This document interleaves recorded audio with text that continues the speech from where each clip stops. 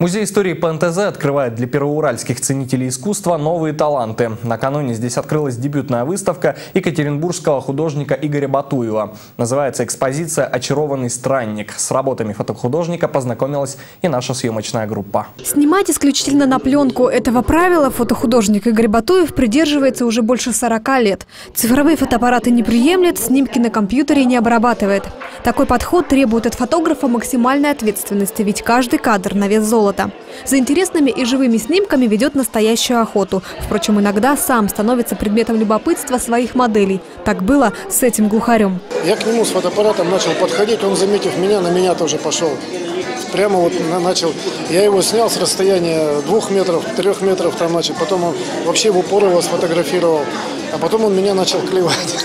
На суд первоуральских зрителей Игорь Батуев представил более 50 работ. Все снимки сделаны им в последние пять лет в одном из природных парков Урала.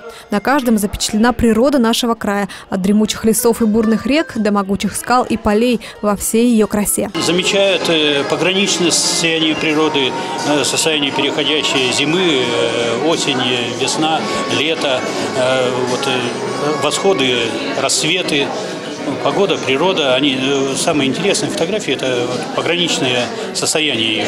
Выставка называется «Очарованный странник», и на самом деле это странник, который влюблен в природу. Сегодня очень много народу собрались, получили заряд позитивного настроения, эмоций. Несмотря на то, что природу Игорь Батуев снимает с 80-х годов, отклоняться от главной темы своего творчества не собирается. Напротив, сегодня он занят поисками нестандартных точек зрения на окружающий мир, строит дерзкие творческие планы. Вот хорошая у меня мечта облака сверху снять вот, во время прыжка с парашютом. Вот это бы я бы, наверное, поснимал.